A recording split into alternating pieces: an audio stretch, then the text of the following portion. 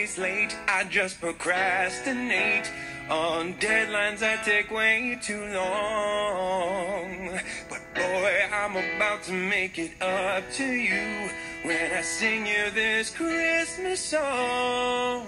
Dude, didn't Christmas was pass? Oh,